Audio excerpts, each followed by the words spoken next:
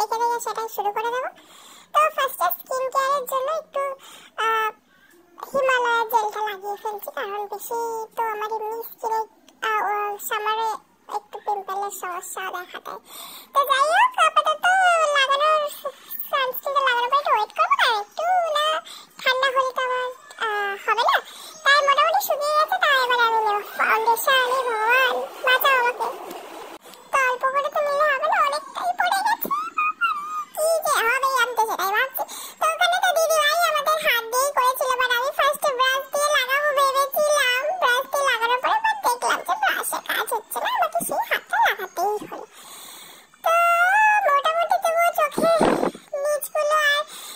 দু সাইডগুলো একটু যেগুলোতে হাত যাবে না সেগুলো তো মোটামুটি লাগিয়ে দিলাম।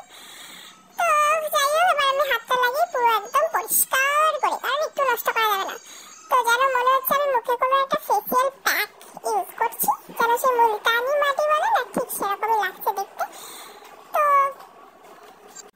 এক সেকেন্ডের মধ্যে আমি কত ফর্সা হয়ে গেলাম নিজেকে দেখে নিজেকে সেই ভূত মনে হচ্ছে রাত্রেবেলা যদি এরকম মুখে ফেস প্যাক মেখে হাজবেন্ডকে একটু ভয় দেখানো যায় না খুব একটা মন্দ হবে না কিন্তু তো যাই হোক আমি এরপরে একটু বিউটি ব্লেন্ডার দিয়ে সুন্দর করে দেখব যে ঠিকঠাক ভাবে ফাউন্ডেশনটা বসে কিনা, এতটা ফাউন্ডেশন তো এরকম ভাবে বসে কিনা।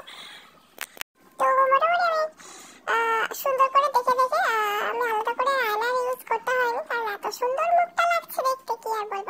তো মোটামুটি ভাবে ফাউন্ডেশন যখন বসানোর চেষ্টা করলাম, অনেকক্ষণ ধরে ড্যাপ ড্যাপ করতে করতে দেখলাম যে অটোমেটিক ফাউন্ডেশনটা বসে গেছে এবং খুব একটা মুখটা সাদা সাদাও লাগছে